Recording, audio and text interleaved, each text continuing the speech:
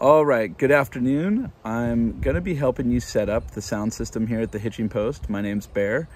And before we get into the video, I wanna give you a couple reminders of, you know, how to, how to take care of a sound system and how to get it set up easy and in a nice, calm and clean manner so that it works for everybody. Um, let's start with a couple things. Number one, don't stress out. Take your time, do it slowly, and you know, remember that you're a team. Whoever's there, whatever skills you have, it's enough and you can get these things solved if you take it slowly. Only change one variable at a time and just move step by step. So when you're setting up the sound system, I want you to think of it this way.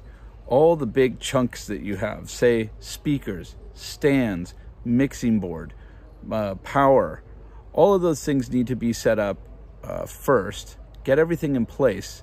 And once it's in place, then you can start actually cabling things together. So I would suggest once everything's in place, then start setting up all your power cables. Make sure every speaker is powered. Make sure the mixing board is powered. Do not turn anything on yet. I'm just talking plugged in. Okay, once you know all the power is run and everything's in place, start slowly connecting the speakers to the mixing board. You know, you're gonna be going out of the mixing board and into the speakers. That's the direction the sound is flowing. And once you get all the speakers plugged in, then whoever's playing that day, you're in your um, your band, your multi-instrumentalist, your solo singer-songwriters, you can get them plugged in. Maybe you just got two vocals and one guitar. You can figure out what channels you want that on, of channels 1 through 16, and just take it nice and slow. So set everything up, the big parts of the PA, then plug in all the power, then plug in all the instruments, then I want you to turn on the mixing board first. Then after you get the mixing board powered on and you make sure everything is muted, you can turn your speakers on because you don't want to turn your speakers on uh, and then turn the mixing board on second because that's going to make a popping sound or if there's something unmuted that was turned up really loud by the last person, um, that could uh, send quite a shock through the system. Um, and I'm talking sonically, you know, something loud. So we always want to keep it muted, quiet, and bringing things up in volume one at a time. All right. Now, after you've done everything with the show, I want you to shut down the speakers first, then the mixing board.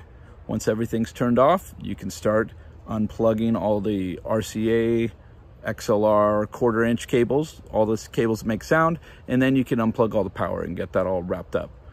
Um, so set the PA system up in that method. I think you're gonna be good to go. Take your time, be kind to each other. Just remember it's only rock and roll. And um, I think in the following video, there's gonna be enough for you to get through and create some good sound um, until you learn a little more. And yeah, I hope you find this helpful. Have a good day. Have a great show. All right, we're back with Baron Bjorn. Let's talk about outputs from this mixing board. Everything on the top of the console is an input, okay? Everything on the back is where sound goes out of. That means that it uses this type of connector. That's the female XLR end. We have on the back one, two, three, four, five, six, seven, eight XLR outs. It's aux one through six, and aux 1 is going to be the stage stage left monitor on the ground. aux 2 is the stage right monitor. 3 and 4 we don't use currently because we don't have those monitors. aux 5 goes to the subwoofer, which is going to be right down there on the ground.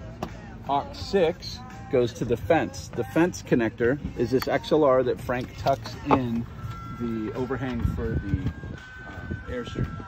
So you'll see this I think Frank tucks it in like this, right? Yeah.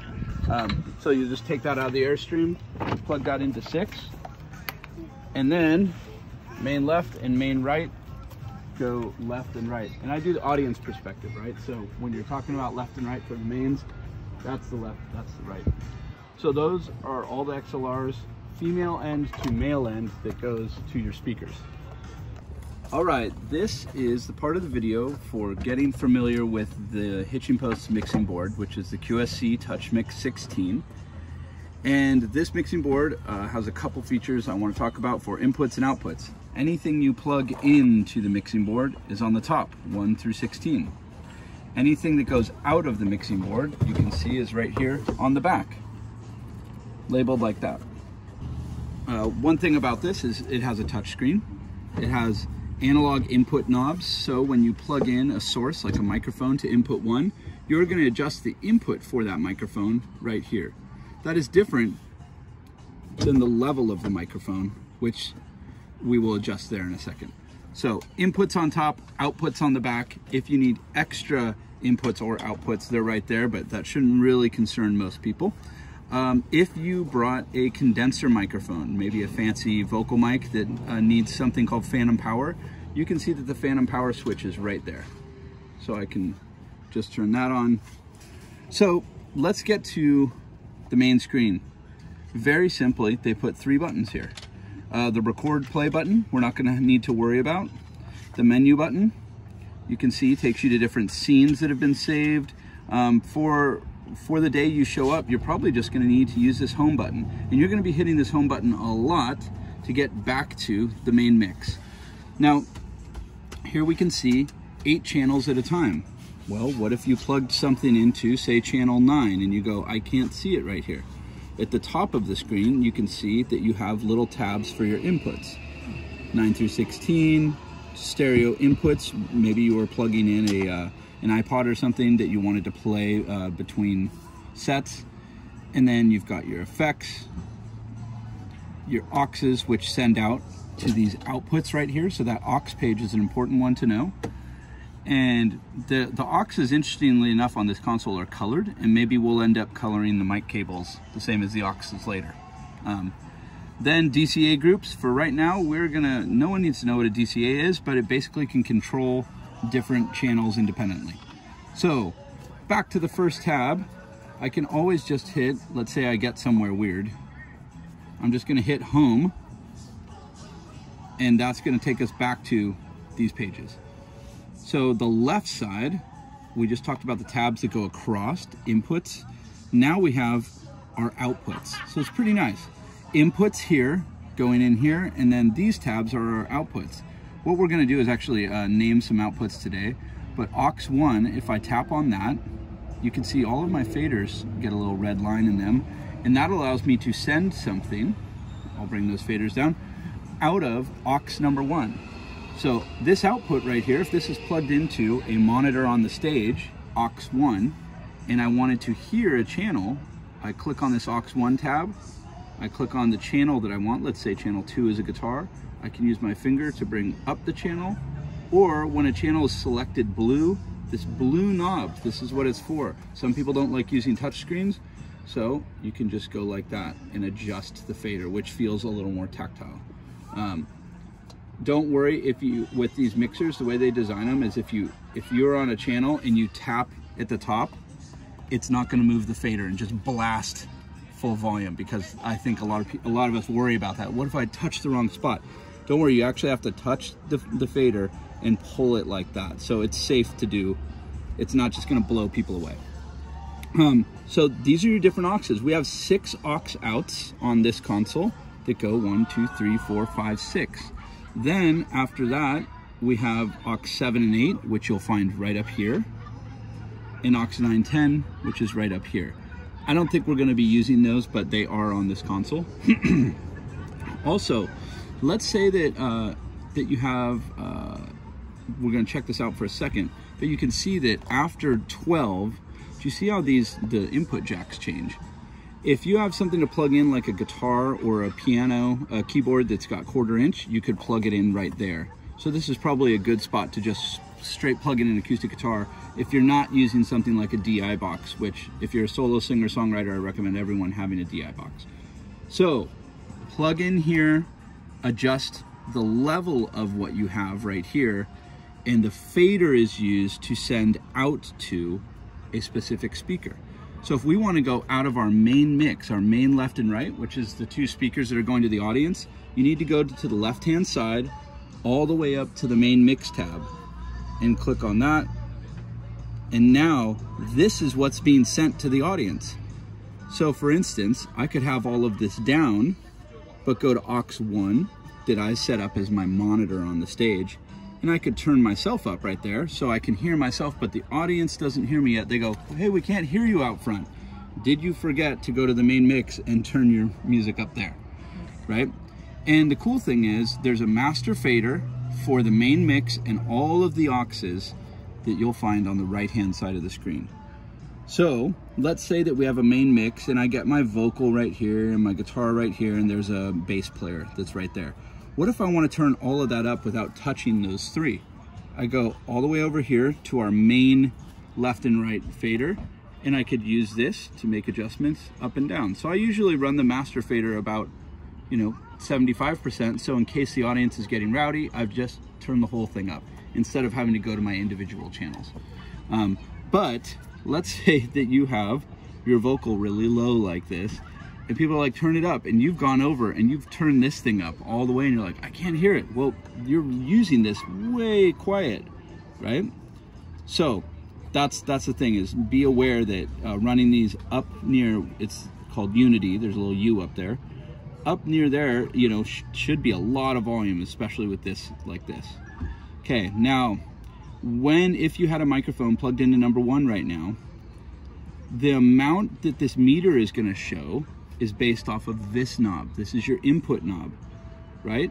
So if I crank this input knob uh, and it's distorting, but I turn down the fader, I'm still gonna have a distorted signal. So you wanna make sure your input knob is making sure that you're bouncing half to 75% of, of the way right here. That way you know you're not clipping anything. Clipping is another word for distortion. You don't want to distort your inputs, so set these appropriately, then use the fader to decide how loud you want to be in the speakers. Um, below that, you can see that there's some mute buttons that are, uh, I feel, pretty darn tiny. These work better on the iPad, but see that little mute? So say you're taking a break from uh, singing, you can just mute yourself right there.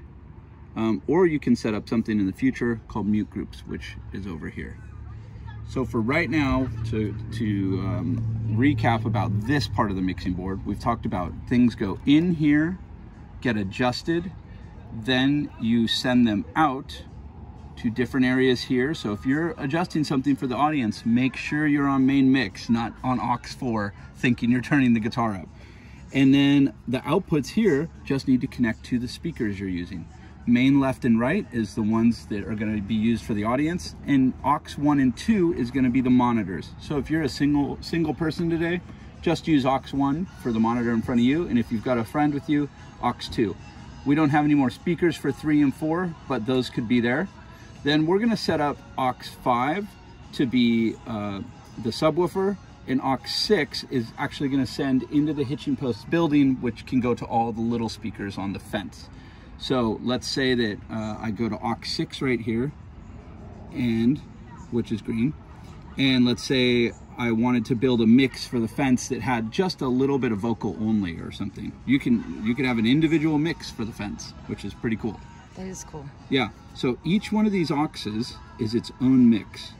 So if I click on aux 1, everything I mix here goes to aux 1, which would be the speaker on the front stage if I want to mix something differently for the audience, I do that on the main mix. So hopefully that's that's a start. If you are ever lost on here, hit the home button. That'll just get you out of panic mode. And as a little reminder, double check that the mute buttons on the bottom aren't red, right? Um, I personally like to keep channels muted I'm not using. That way, when I play somewhere, I just see two channels unmuted if that was me and I know that there's no way, I don't know, some random pop or something is coming from channel 8 or whatever. So um, I like to see faders down and things muted unless I'm using them. We are now at the point where um, you've plugged something into input 1, let's call it your vocal mic.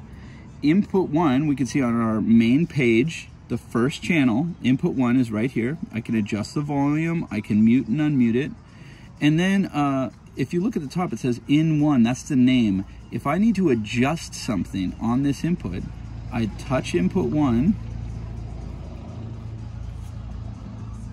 and it brings me to this overview page. This overview page allows you to see all the things you could adjust. I find it to be uh, nice to see, but I also want to know that uh, that I can make things bigger.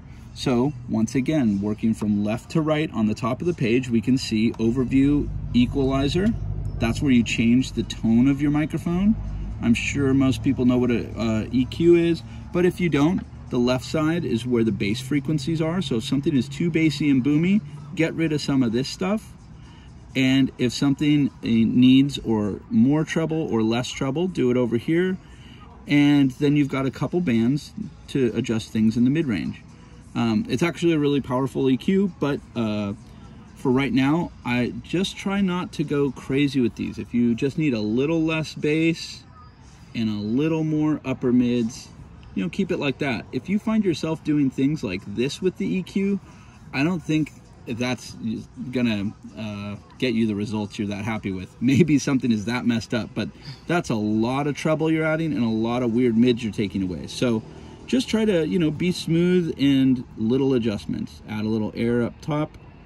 And if it's too rumbly, you can use this low cut over here, eh, which is hard to see, but right under this little guy, I can then click on that and start taking away all the bass, you know. So that's your EQ. Compressor, if you don't know what a compressor is, ignore this page. If you don't know what a gate is, ignore this page. If you do know what those things are, there are the pages for them. They have all the regular controls you're used to. Effects, this is a very important page for a singer-songwriter, somebody. You can see that we have four effects over here. Uh, currently, dense reverb and lush reverb are effects one and two. Just if you need a little reverb for the day, click on that fader, it turns yellow. If it's yellow, you can use this knob to then turn up the reverb, which is the space on your channel. And you can, I would just try this dense reverb, maybe add a little of the lush and see how it goes. Um, then After Effects, which is our reverb, it could be delays in the future, we get to our auxes. Uh, for me, I would do this a different way, but let's say on, you remember that you're on channel one right now. On channel one, where do you want it to go? Let's say the aux1 is your stage monitor. I click on that and I say, okay, oh, I can hear myself on stage, great. Then I have a buddy with aux2, that's their stage monitor. And they say, oh, that's all I need, just a little bit. And then you want to send some to the fence, which is number six. Okay, and fence mix we've got.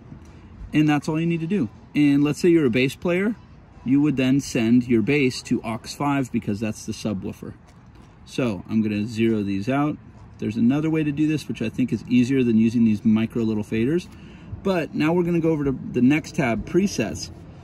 You could use presets, um, but I just recommend starting from zero, not doing a preset. It's gonna engage a bunch of things. So let's leave presets alone if you don't know how to use them. And setup, ah, this is an important part. We can see over here, uh, the input one. I can click on the name now, and let's say for today we have uh, Arwen coming. Vox. Vox is a good short for vocal. Okay, and now I'll hit enter. So check this out. I just entered Arwen's name on the setup tab of the um, overview for this channel.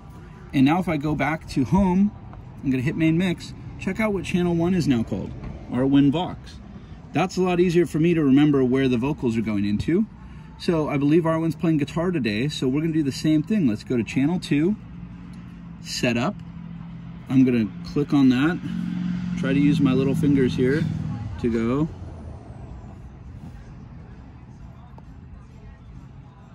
Now, because it's just Arwen on guitar today, we're just gonna put guitar. Okay, now I'm gonna hit the home button again. Now I have two channels, Arwen's Vox and guitar. And we can unmute them down there. We can bring their fader up. We have a little pan control that is so darn micro. Panning brings, this, brings it from the left speaker to the right. We wanna keep the pan knobs uh, for this, this PA always in the middle. That's gonna be just the best thing to do for now. But uh, we have Arwen Vox, Arwen Guitar. Well, why don't we go over to our aux masters. Remember that our auxes are the outputs here, right? So I'm gonna name aux1 let's name aux1 monitor one. Clear. Boy. Uh, if you're comfortable with an iPad, I suggest doing that. So aux1, I just named monitor one. I'm gonna hit next. Now it's now I'm just labeling all these. So now I'm gonna go aux2 is monitor two. aux3, I'm actually gonna clear that one and because we're not setting any monitors up right now. So I like I like seeing if a channel is unnamed, that means there's nothing on it. Okay, aux5, we talked about aux5 being our subs. And I'm just gonna put subwoofer in case people forget that sub is not a subgroup or anything like that. Okay, so subwoofer, and I'm gonna go to next, and I'm gonna hit aux6 is, come on fingers.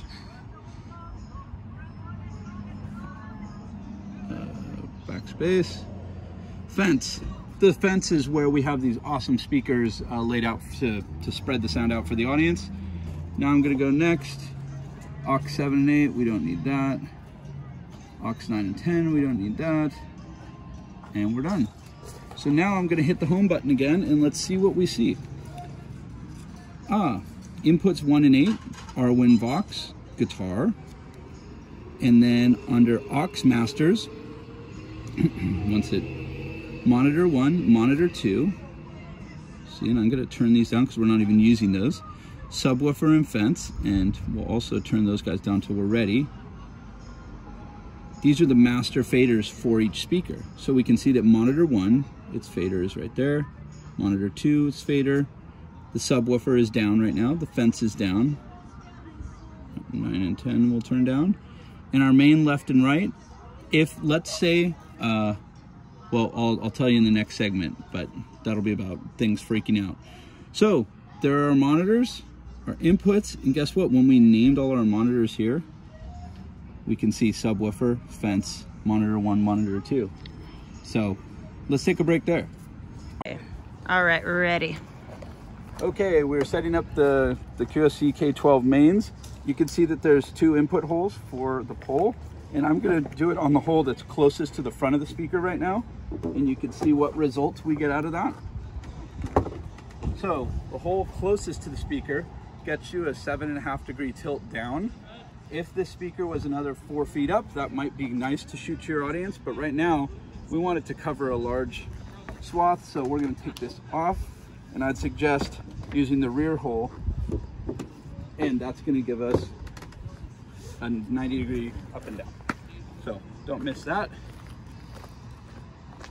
Now the other cool thing is that this one's adjustable. So uh, depending on what we have here, I think this speaker should just go higher. Um, you know, shoot above the audience a little bit.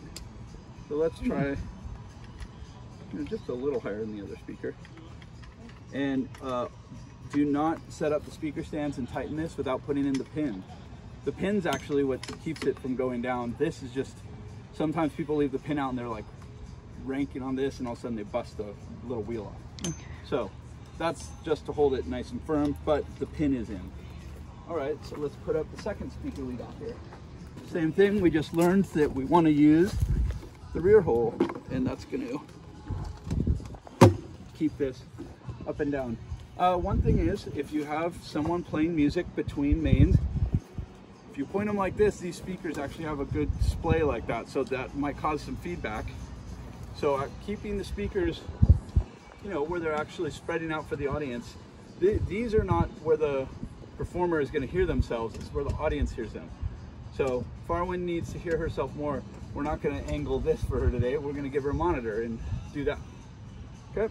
Uh, so one thing to remember, you come back to the rear of the speaker, um, as long as these cables don't get lost, you can see that these power cables for these speakers are blue. There's a blue input. Well, why is that groovy? For a, a couple levels is that this, and I like wrapping these around the stand, right? So I don't see cables hanging everywhere. But this is a locking connector. So if it goes like this now, if someone trips over this, it's not gonna get pulled, but I also have it going down the stand here. I think it looks better for the audience and also means that someone pulls on it, it has strain relief. So let's go over this QSC K12 and maybe you want to come to this side and I'll put it in the sun. All right. So we can see this speaker has an amp built into it on the back. For general purpose use, let's not talk about menus and stuff today. This is like someone who's just barely using this. Eventually you could pl plug an iPod in right there if you had a, a little 3.5 millimeter jack and that gain C in would be this. You know, that's if you don't have the mixing board. You're just putting this out in the dirt for one day. And so we're not gonna worry about gain C or B because we're just gonna go into input A, top left input deals with this. If this is at zero, or maybe if you need to be really loud, three o'clock, that's all you need to do. So as long as this thing isn't down at off, the gain on A, I'll just keep it at zero. And our uh, send from the main, this is our left speaker. Our main left out of the mixing board is gonna go to the input of our left main. Then the same thing on the other side, our main right out of the mixing board is gonna go right to there. And as long as you have this plugged in, this at zero, and the power is on, you're ready to then blast people away.